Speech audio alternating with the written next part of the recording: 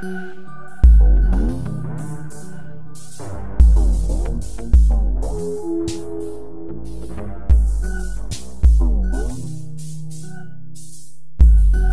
l'histoire d'un vieil homme qui habitait sur un pont. C'est l'histoire d'un vieil homme.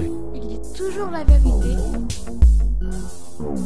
C'est l'histoire d'un vieil homme qui habitait sur un pont.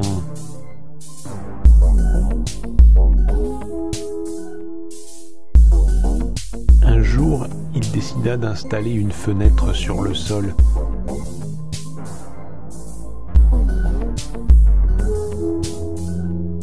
C'est l'histoire d'un vieil homme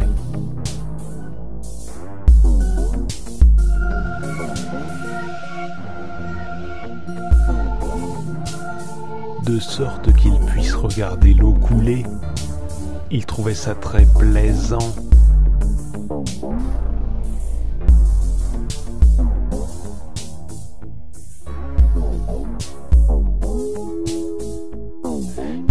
Bonjour aux poissons et les poissons lui répondaient. Les conversations étaient toujours de courte durée car les poissons nageaient très vite au fil de l'eau.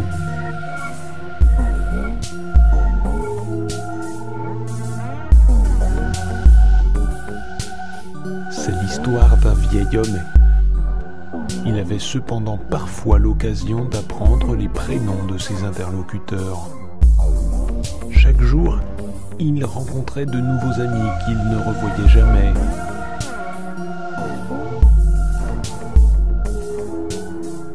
C'est l'histoire d'un vieil homme qui habitait sur un pont.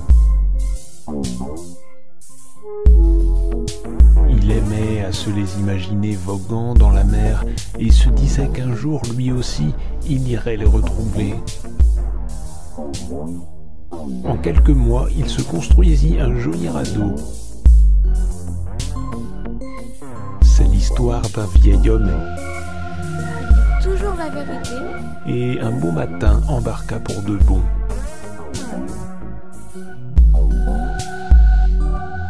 C'est l'histoire d'un vieil homme qui habitait sur un pont.